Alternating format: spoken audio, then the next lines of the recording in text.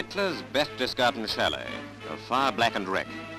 Rubble mocks the ex-Fuhrer's memory from his favorite window and in the room where he plotted to enslave the world. In a mountain cave near Berchtesgaden, Goering's secret treasure trove was located by American soldiers. In this Aladdin's cave of stolen art treasures, everything that glitters is gold. The fat crook pretended he paid for everything, including sacred pictures looted from churches. 50 million pounds worth of Europe's treasures, gathered together by an overfed bully who once blurted out, when I hear the word culture, I reach for my gun.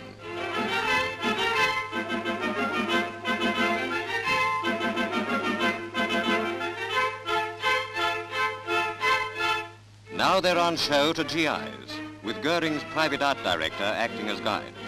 He's out of a job, for the Allies will eventually return all these proceeds of banditry to their true owners.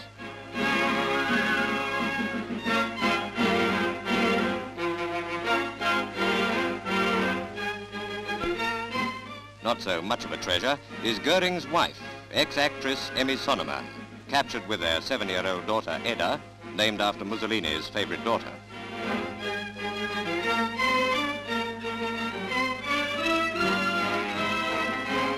At Suicide Villa, Lüneburg, where the wife of William Haw Joyce was later found, Heinrich Himmler bit on a phial of cyanide, identical with this one found in his kit, and died instantly.